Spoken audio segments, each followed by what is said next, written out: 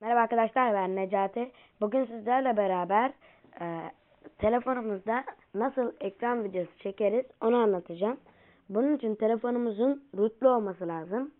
E, ben bunu kanalımda ilk videom olarak koymuştum root atmayı. Root attıktan sonra internetten şu görmüş olduğunuz Screencast Pro'yu indiriyoruz. Bunu indirdikten sonra açıyoruz. Tabi bunu açmak için ilk önce şöyle yapmanız lazım. Ya da direkt izin ver diye çıkabilir. Hı. Root'a girip buradan çapa resmine tıklayıp hı. burada görmüş olduğunuz gibi bunu tik yapmanız lazım. Yoksa olmaz. Ee, sonra buna giriyoruz. Buradan e, ne kadar süre en fazla onu ayarlıyoruz.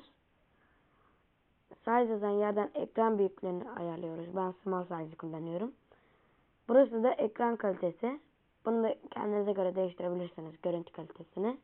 Oyunlarda oyun videoları falan çekeceğinizde daha böyle 350 mesela en düşüğü ona getirebilirsiniz. Normal bir video çekeceğinizde en yüksek 3000 şeye getirebilirsiniz. Ee, oyunlarda düşük getirmenizin sebebi bu da çıkıp duruyor. Hmm, şey nedir onun ismi? Hı, oyunları kasmasını engellemesi ve daha düzgün çıkması. İşte o yüzden ben en son oyun çek oyun videosu çekmişim herhalde.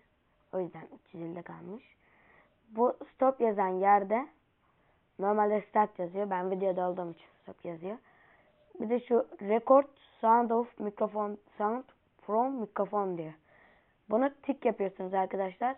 Sizin sesiniz derliyor. Eğer videonuzu çektiniz. Şuradan durdurdunuz üstünüze e, üstüne tıklayarak. Şimdi ne yapacaksınız? Videoyu nasıl izleyeceksiniz? Telefonumuzun seçeneği er bölümüne tıklayıp record diyoruz. Buradan çekmiş olduğumuz videolarımız var. Ayrıca galeride de bulabilirsiniz. Her neyse bugünlük de bir videonun daha sonuna geldik. Ee, videolara abone olup likelamayı unutmayınız.